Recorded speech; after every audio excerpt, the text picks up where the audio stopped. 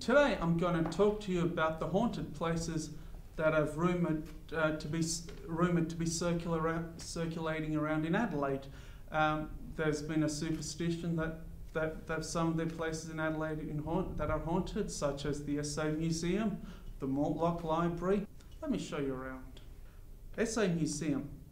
Here at the SA Museum, there was a rumour that, the, that someone died during construction, and since then the ghosts of the deceased has been lurking around ever since in one of the top floors. There's been rumours that up in the top floors that the Aboriginal Cultural Centre, the Egyptian Room, Pacific Galleries collections section has been haunted.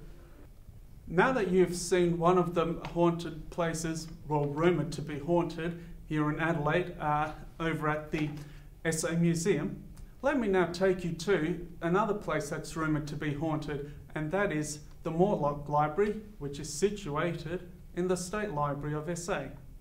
Here I am at the Mortlock Library, this place up here in the top floor has, its, has had its share of rumours of being haunted. I do believe that the security guards were, it was them that heard the, uh, the uh, saw the rumour, heard the rumour that the place has been haunted up here on the top floor of the Mortlock Library. And here we are, last of all, at the Pacific Galleries collection here at the SA Museum. There's been talk of a ghost wandering around here. And like I said, whether or not this is the same ghost that's been lurking around after uh, from the dead construction worker, who knows? Well, there you have it. I've just given you a sample of some of the places that are rumoured to be haunted here in, um, in Adelaide. I don't believe it, but who knows?